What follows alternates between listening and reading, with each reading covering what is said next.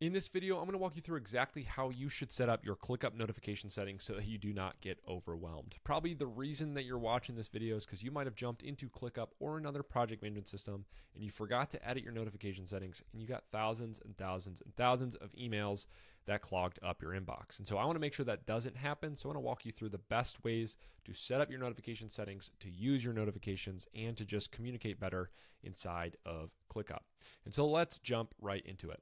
So obviously the first thing that we need to do to get all of this set up is we're going to first walk through our inbox or our notifications inside of ClickUp. So wherever you are in your workspace, you can come up here to the inbox. If I want to, I can also click um, I on my keyboard. That takes me directly to my inbox as well. That's if you have hotkeys turned on. So go ahead if you want to. You can turn on your hotkeys. Those are available in your personal settings.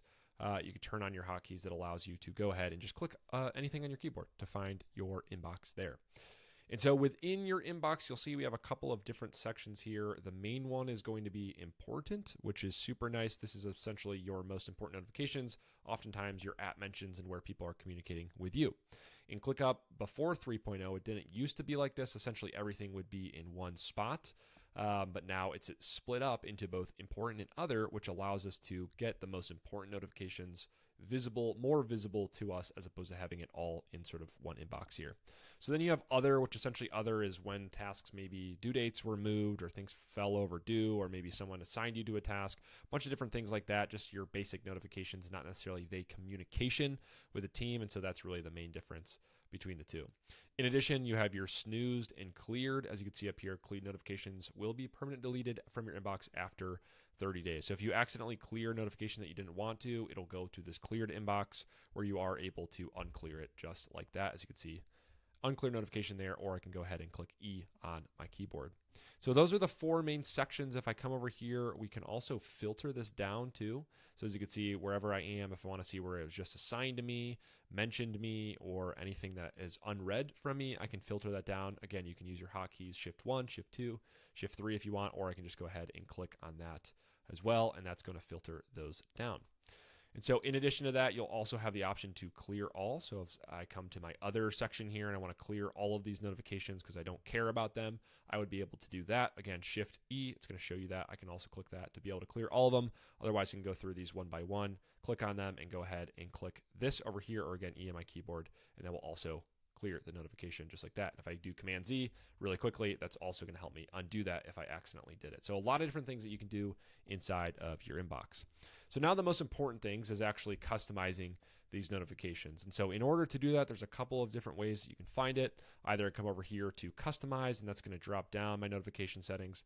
Otherwise, you can come up here and you can also see notification settings that way. And so what I want to do here, let's go to customize. Let's talk through a couple of these different things. Uh, this is me customizing my inbox uh, here so I can group by a date if I want to, which I find to be the most helpful. If I have a bunch in here, it's helpful to group by those specific dates that the notification came to me if I get some of these to be not reviewing them right away. Um, also, sort by newest uh, first. I can also do that, which I find to be helpful as well, unless you want the older ones to be at the top of your inbox, which um, I don't typically do that. That's not how email works and things like that, but you can if you want. Um, and then you can also customize the importance of these as well. So basically, I'm able to funnel different things to my important inbox as opposed to other if I wanted to adjust those. So if you wanted any of these things like due date changes or time tracking changes, you could funnel those into your important inbox if you wanted to. And if you wanted to, you didn't want to do that, you can reset to default just like that. And that's just going to put the most important things based off your settings in there. And so that's what I can do. I can also choose full screen or inline. The big difference between that is, as you'll see, if I were to come here, click into that, that's going to pull this up full screen. So that's the only notification setting or notification I'll be looking at at this time. Otherwise, if I wanted this just to be inline, so it's not taking up as much real estate, I could click here, and as you'll see, that's just going to drop it down a little bit, which is great. But as you kind of go through these and maybe clear them, um, that's going to make it harder to know which one you're actually on. If since there's a lot on here, it could be a little distracting. So if you just want to focus on one notification at a time, it is helpful to have uh, the full screen um, on, but depends on what your preference is. Um, other one other thing is keyboard shortcuts until we actually dive into the notification settings. But as you'll see here, basically what I was telling you about earlier, you have a bunch of different things that you can use to make this a little bit faster. So memorize a lot of these shortcuts. It'll help you go through your notifications way faster within your inbox. So like go to all tab, go to important tab. You can just kind of come through, and as you get used to them, you'll be able to go through all this much quicker. So the one my favorites are clearing and unclearing, um, clearing all, snoozing, things like that. It's a great way to make this a little bit faster for you. Obviously, yeah, you have to take some time to memorize all these, but as you kind of keep using them on a daily basis, they become to be a little bit easier. So that's your keyboard shortcuts there.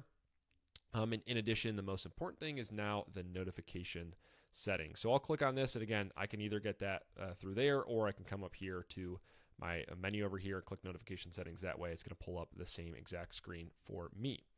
And so the cool part about this is ClickUp actually made this much easier than it was inside of 2.0 because before you had basically a long list of a bunch of different notifications that could be turned on, turned off, things like that. But now they basically created their own settings or recommendations that you can use, and you can just kind of toggle that on um, instead of having to go through every notification one by one by one. You can still do that by coming here to the custom section, as you can see, but you don't necessarily have to do that because they basically grouped up their own sort of notification settings based off of what you want. So you'll see those categories here. But as you can see, a couple of different options we have is the inbox, which is our ClickUp inbox that I was just walking through. You have email, so if you want to send notifications to your email as well, you can do that. Browser notifications, so basically the notifications that might show up um, within your browser. If you're using your browser, you could do that so that it doesn't just show up in the inbox. It kind of prompts you um, as well. But if you get a little bit distracted, you don't want those turned on, you can turn them off. Um, you have mobile, so if you're using the mobile app and you want notifications to go to your phone, you can do that. You also see if you're integrated with one of your chat tools like Slack. Um, I'm able to also um, manage these settings as well. We won't go through that today, but that's something else that you could do. We have another video on Slack. Um, if you want to watch that, I'll put that in the description below. Um, and then you also have a couple general settings down here. So your smart notifications, if you want to delay sending notifications to you, if you do get maybe distracted by that, and if you're in deep work, sometimes it's helpful to delay notifications as they come in if you don't want them in right away. But if a lot of things are urgent and stuff like that, might not necessarily be smart. As you'll see, you have the option to delay these by four weeks. That might be a little long there, um, but you do have the option to do that.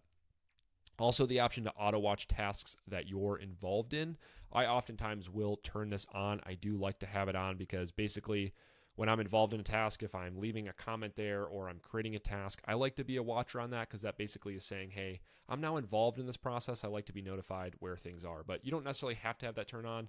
I have the personal preference of I do like it, and you can adjust that uh, as well too based off of when you want to auto watch tasks. So when you're watching a task, that's essentially you're going to be notified on what's happening within that task based off of what you're doing here. I'm saying when I comment, so if I comment, basically I'm bringing myself into the workflow. When I edit, I'm bringing myself in. When I add a new subtask from parent task that I'm watching, I'll be added in. When I create a task or subtask within that, I'll also be added in. So you can adjust this however you want, but I like to have all those turned on just because if I'm kind of uh, putting myself into that workflow, I like to be notified of what's also happening, but it really depends on your personal preference. So those are the main things there. Now let's get to the big part of this, which is these notification settings. As you'll see, all of these are going to have a couple different options. We have default, we have focused, and we have custom. If you want to know the big difference between default and focused, uh, ClickUp and I'll put this in the description below. It does have a whole thorough guide that walks you through what the difference of all of these is in terms of what's going to go the important versus not important sections of your inbox and whatnot. So you'll be able to read through all of those. I personally recommend default. I think this is a great setting. I don't think you have to go into custom if you don't want to, unless you're like very want some of these pushed in, some of these not pushed in, but default works uh, completely fine. So I'd recommend turning uh, that on there. And now, email, I recommend we live inside of ClickUp. I believe that your communication and everything should be in ClickUp every single morning. Your daily routine, your morning routine should be going into your ClickUp inbox to see if there's anything you missed. You should also finish your day closing out all of your notifications in your inbox as well. Because if we're trying to create a single source of truth, we're trying to communicate well inside of ClickUp, we should be putting all of that in there and finishing the day with inbox zero. Because if you have a lot of unclear notifications, like you would maybe in an email inbox, and you get to that point where you have 400 or 500 unread notifications, that essentially means you're probably not going to go through all of those and it becomes meaningless. So we want to make sure the team has a good habit that every single day they're relying and going into their email inbox and getting down to inbox zero every single day, or if not every day, at least a few times per week. It's super important. So in that case, I actually turn off my email notifications because I don't need them coming to my email. I'm living in ClickUp every single day. It is enough to just have them all in there. Again, this is up to you, but I recommend I don't like getting my email inbox clogged up with a bunch of notifications from my project management system. So I go ahead and just turn this off and I don't even uh, keep it turned on at all. So again, you can disable notifications just like that, unless a little bit different. You do have the option to do mentions only. So if you want any kind of communication where someone mentions you to come to your inbox, you do have that option. But I'm going to go ahead and I'm going to disable those. Uh, browser, similar to inbox, um, you have the option to just do mentions only, which sometimes can be helpful if you only want that notification to come in when someone actually mentions you in a comment. You're able to do that, but I'm fine with the default settings here as well. And you can show an example of what that would look like as well if you go ahead and click that button. And then mobile, I actually turn these off as well. I don't feel the need for me to have these turned on. I don't even use the ClickUp mobile app. I keep everything on my desktop. But again, if you want that, if you want to be pinged all of the time, if there's a bunch of stuff that's super important to come through on your phone, uh, you can do that. However, sometimes when I get a bunch of notifications on my phone, it kind of makes work-life balance a little bit harder and then i try to get into involved in the things uh, maybe too late at night or whatever i find it very helpful to keep these turned off as well. So I like to just really rely on my inbox, keep that as default, and I also can have those browser notifications turned on as well. And so that's your notification settings overall. Now I want to quickly finish up with actually going through and talking about how we can best use this inbox. And so the way that I do it, again, as I mentioned, you always want to get down to inbox zero and you want your team communicating and relying on ClickUp for their communication, especially when it comes to working on certain projects. Because if it gets lost within Slack and email and ClickUp in three different places, it's hard to really bring all the breadcrumbs together. So we want to put it all in one place to make it much easier for the team to navigate and uh, ensure that they didn't miss um, anything or any piece of communication. So the best way to use this and the best way to go through these is again, I go into my important, I see if someone left a message to me. As you can see here, we do have a comment. And so you have the option inside of these notifications. I can leave I can see this and I can leave a reaction right here if I want to. I can like that comment. I also have the option to reply directly in here as well. So if I wanted to click reply and I can go ahead and reply to this message, I'll just say thanks, just like that. And as you'll see now, that's going to show up there. However, I find it easiest and best if I were to come in here and you'll see you have the option to uh, choose your details here. So I can open up my details just like this. And so what that does now is it's actually going to bring the whole task side by side with this notification. So that's the task that we're working on. This is where I was uh, actually at mentioned on. But now what I need to do is go to my activity. So the activity is where that comment actually lives. As you can see here, this is actually in a threaded reply um, just like that. As you can see, John Smith left a message there. That's what's showing up. And we have this thanks down here that I just left. But again, as you can see, I'm only seeing those two. I'm not actually seeing this middle comment that happened there. So regardless, I find it to be a little bit confusing to leave and communicate directly in your inbox. I like to actually open up the details of this just like this. Open that up, go to my activity, and make sure I'm not missing anything when I go ahead and leave that comment. And so again, this is going to be with habits with your team, whether it should be a threaded reply or not a threaded reply, however you want to do that.